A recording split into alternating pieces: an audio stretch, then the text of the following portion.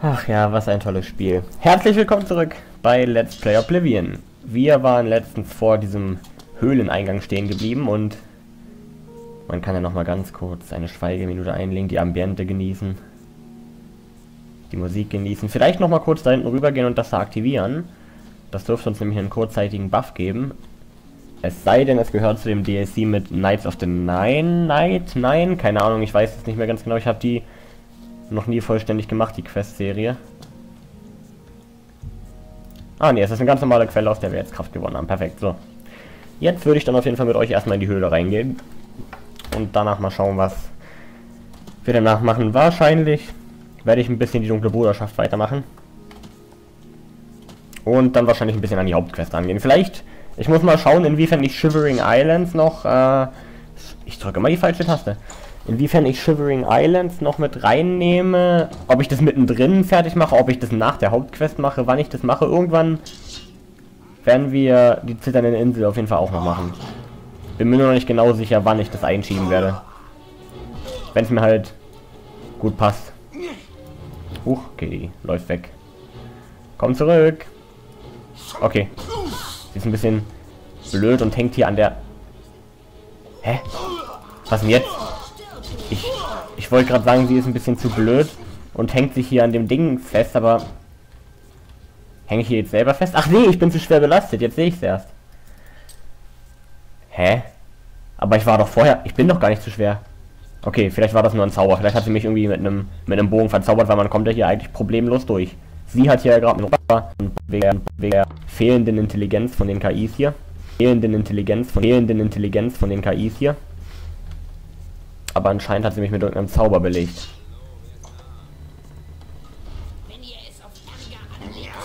Ja, lege ich. Tschüss.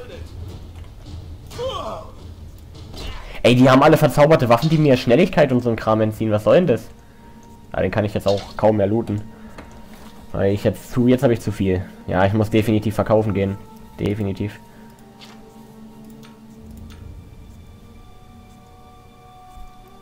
Na, dann nehmen wir doch natürlich den. Und den hauen wir weg. Den hauen wir weg. Die Stahlsäbel will ich behalten, weil ich die verkaufen will. Aber wenn der jetzt hier... Der ist ja verzaubert hier und wenn er jetzt irgendwie was entzieht, dann nehme ich den natürlich. Tschüss. So, hast du Gold? Nein, du hast einen Dietrich und Eisenpfeil nehme ich auch. Ich spiele zwar nicht wirklich mit Bogen, aber vielleicht ändert sich das ja noch. Habe ich eigentlich einen Bogen ausgerüstet? Ja, habe ich. Also notfalls. Und einen Köcher habe ich auch, ne? Ja. Also vielleicht sollte ich ja das ein oder andere Mal sogar ein bisschen mehr mit dem Bogen spielen. Ja, ich habe auch noch ein bisschen was anzusprechen und zwar, wer die Let's Plays verfolgt, dem ist, ich drücke immer R und das ist aber immer Perspektivenwechsel, damit will ich die Waffe aber immer wegstecken, das ist ein bisschen verwirrend. Sollte ich vielleicht mal bei Zeiten umlegen. Ähm, wer die letzten Parts verfolgt hat, dem ist bestimmt aufgefallen, dass ich da hin und wieder so Lags drin habe und Verzögerungen. Und ich habe ehrlich gesagt keine Ahnung, woran das liegt.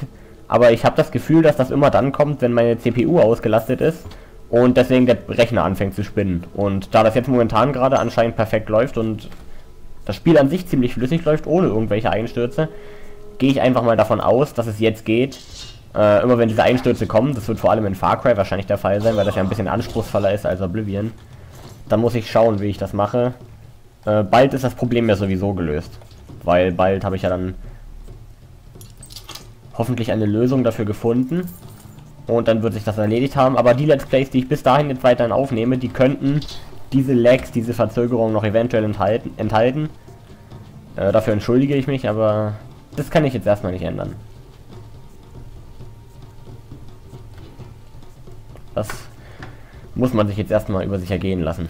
Finde ich natürlich auch nicht so super, aber ist halt so. Und das ist auf jeden Fall Titan Quest Musik, die da im Hintergrund spielt. Hier sind wir lang gelaufen, das heißt, eigentlich müsste doch in die Richtung jetzt hier zurückgehen. Und da kommt auch schon Oblivion Musik. Ne, Quatsch, das ist auch Titan Quest, oder? Ich höre mir das noch ganz kurz mit an. Ja, Titan Quest. An dieser, an dieser Stimme erkennt man es.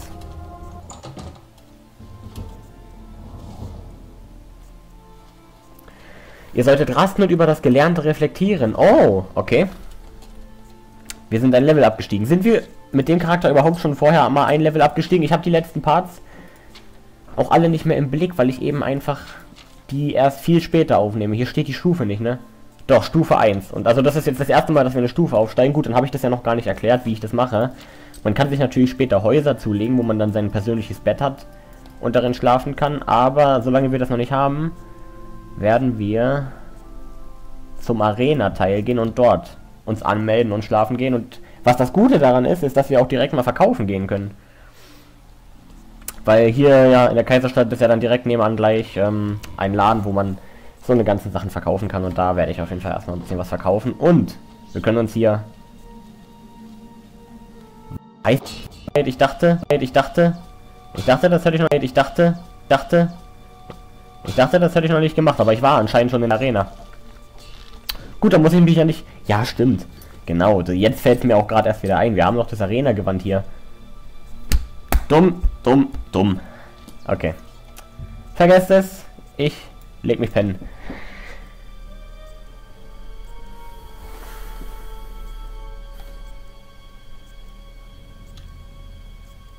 Das war, glaube ich, ein bisschen zu wenig Schlaf, aber werden wir jetzt erstmal das Level aufleveln. Ähm, Stärke auf jeden Fall. Und wir wollten stumpfe Waffen mit Schnelligkeit machen, ne? also Schnelligkeit auch auf jeden Fall. Und dann hätte ich gesagt, Sicherheit, Schleichen und Schießen. Ne, das eher nicht. Blocken, Waffenschmiedekunst, schwere Rüstung. Gibt es jetzt irgendwas, was direkt für stumpfe Waffen zuständig ist? Wahrscheinlich nicht, ne? Ja, nehmen wir noch Konstitution. Ja, stimmt, wir haben müssen, mussten ja auch mal schlafen, damit wir mit dem Typen da von der dunklen Bruderschaft reden konnten. Mit Lucien Lachance, genau. Du willst hier durch? Kommst du aber nicht. Hau ab, tschüss. Du kommst hier nicht durch? Ja, okay, komm, wir lassen dich mal durch. Ich bin ein viel beschäftigter Mann, was ist? Du willst kämpfen? Ich grüße euch. sie juckt es gar nicht. Er, er grüßt sie so und sie haut dann hier direkt da. Kann ich da jetzt? Ach, ich versuch's nicht. Alter, jedes Mal drücke ich den falschen Knopf zum Weghängen. Also zum Weghängen, zum Wegtun der Waffe. So, ausgeschlafen. Früh am Morgen werde ich mal schauen, ob der Laden schon offen hat. Ich befürchte nicht. Ich befürchte, der Laden hat noch nicht offen. Marktbezirk hier. Zur Verteidigung, oder wie heißt das? Die beste Verteidigung? Hieß das die beste Verteidigung? Irgendwas mit Verteidigung. Das ist nämlich immer der Laden, wo ich immer hingehe. The best defense, genau, die beste Verteidigung hat jetzt aber noch zu. Also schlafen wir. Aber nur bis 11.40 Uhr. Das müsste jetzt eigentlich ausreichen, dass er offen hat. Ja. Waren wir hier denn uns schon mal irgendwas verkaufen? Kann ich euch etwas von meinen Waren zeigen? Nein, aber ich von meinen. Äh... Habe ich schon gefeilscht? Ja, doch, habe ich schon gesetzt. Das heißt, wir waren auch schon mal hier und haben schon mal hier was verkauft, alles klar.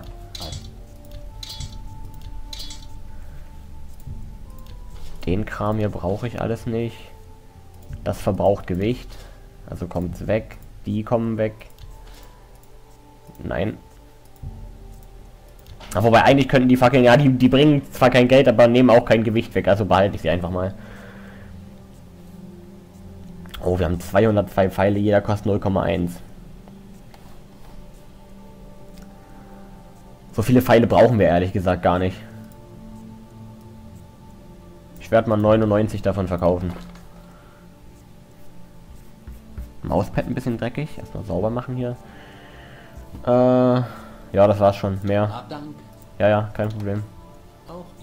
Es sei denn, du hast noch eine geile... Nee, Quatsch, die Waffen hatte ja jemand anders. Wir gehen mal zu diesem Ork-Typen, der hatte, glaube ich, gute Waffen. Hier, war das das? Die vergeudete Karaffe. Slash and Smash, genau, hier.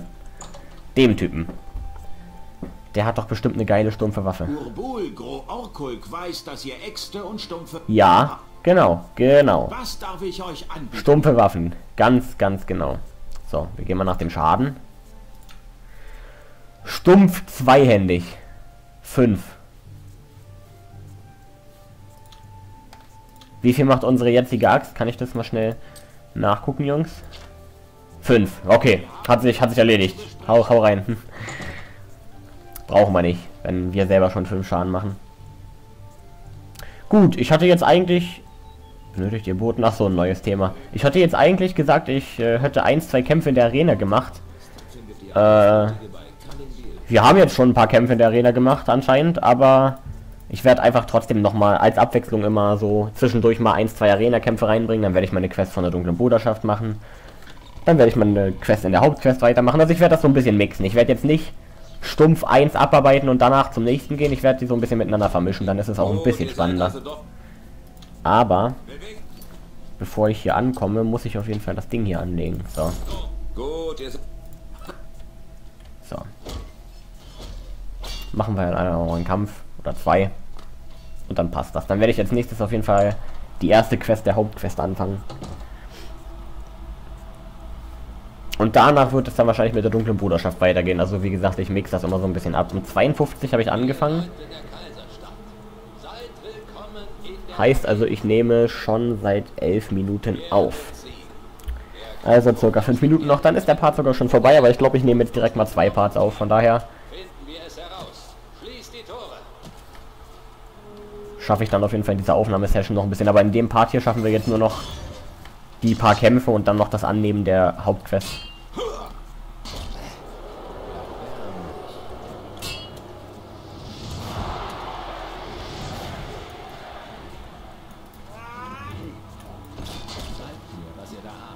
Ja, los, komm, Schlag. Los, Schlag. Ja, und boom, direkt ins Face. Der heilt sich? Was ist das denn für ein Hurensohn?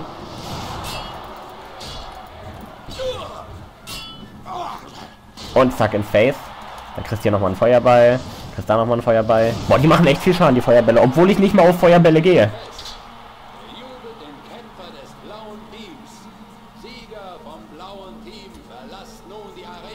Oh, wir können schon, wir können schon sehr weit und hoch springen, das gefällt mir. Hier werden wir uns erstmal komplett wieder voll regenerieren. Und dann will ich meine Kohle haben, bitte. Gut. Das Geld. Und diesen Kampf machen wir noch. Und nach diesem Kampf werde ich dann noch eben, wie gesagt, die Hauptquest, die nächste schon annehmen und dann beende ich den Part.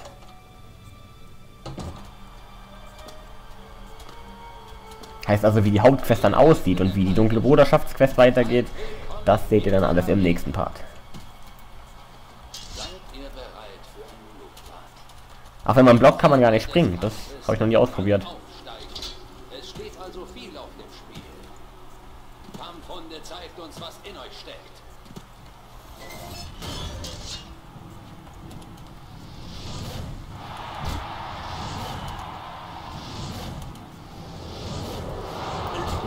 Alter!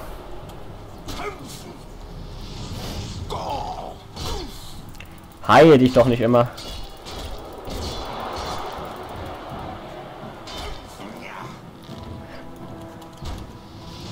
Du nervst, Alter. Stirb jetzt. Danke.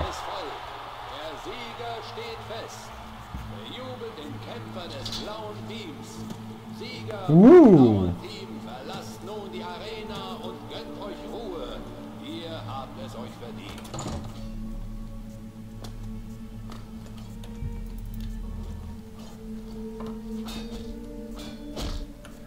Gold bitte. Ja, kannst du nicht glauben, ich weiß. Ist aber so. Das macht schon relativ viel Rüstung, aber wie viel macht das hier? Ach, das macht viel mehr. Ach, na dann ist egal. Dann ist die sowieso 10.000 Mal besser hier, die dunkle Bruderschafts... Dieses dunkle Bruderschaftsgewand. Wenn es dann zusätzlich noch diese Magiefähigkeiten da hat. So. Das ist, äh, das ist mit den zitternden Inseln. Ich werde wahrscheinlich vielleicht in nächster Zeit mal da vorbeischauen. Da gibt es ja auch äh, krasse Stahlrüstung, die man sich da holen und dementsprechend verkaufen kann.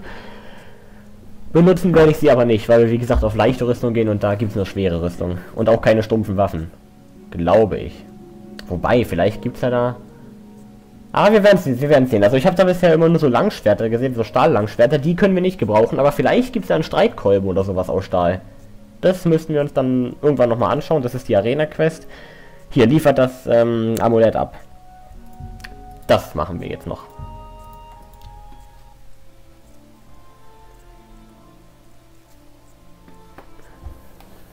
Ja, und dann sind wir auch schon mit dem Part durch. Ja, ich weiß, dass ich das Amulett abliefern muss, Spiel. Ich bin doch nicht blöd. Ah, wobei. Nee, ich, nee, allgemein. Allgemein würde ich sagen, ich bin nicht blöd. Hi. Ich bin Bruder Joffrey. Das ist unmöglich. Niemand außer dem Kaiser darf das Amulett berühren. Bei den Neuen. Das ist das Amulett der Könige. Wer seid ihr? Wie habt ihr das bekommen? Was wisst... Wer seid ihr? Wie habt ihr das bekommen? Ja, da staunst du was. Sagt die letzten Worte des So Kaisers. unglaublich eure Geschichte auch klingt. Ich glaube euch. Nur das seltsame Schicksal. Wer ist der Prinz der Der Zerstörung? Fürst der Zerstörung, den er nannte, ist niemand. Ach, die Welt Okay. der. Hab mich gerade gefragt, ob er jetzt gar nicht mehr redet. Ich bin mir nicht sicher. Nur die Kaiser wissen, das Amulett der Könige ist alt, sehr alt. Wenn ein Kaiser gekrönt wird, entzündet er jetzt, da der Kaiser tot ist und kein Thronerbe gekrönt, werden die Dra Vielleicht haben uns die Drachenfeuer vor einer Bedrohung geschützt, von der nur der... Ich gehöre zu den wenigen, die um seine Existenz wissen. Vor vielen Jahren, eines Nachts, rief Uriel mich in seine Privatgemächer. Ein Säugling, ein kleiner Junge lag schlafend in einem Körbchen. Er sagte mir nichts über das Baby, aber ich wusste, dass es sei. Jetzt scheint es, dass dieser als Bastard geborene Sohn der Ed sein Name ist Martin. Er dient. Ihr müsst sofort nach Quatsch gehen finden. Und, und bitte, lasst es mich wissen, wenn ihr etwas... Wir müssen also nach Quatsch und Martin finden. Was ist das denn für ein Quatsch? LOL. Okay, gut. Witz für diesen Part auch. Man kann ja in jedem Part so einen täglichen Witz reinbringen. Das war der Witz für diesen Part. Ich weiß, ultra lustig. Ich bin einfach ein Naturtalent. Ähm, wir stellen uns jetzt mal hier rauf. Hier rauf, habe ich gesagt. Dann bedanke ich mich für eure Aufmerksamkeit. Huch. Bis zum nächsten Mal. Haut rein und ciao.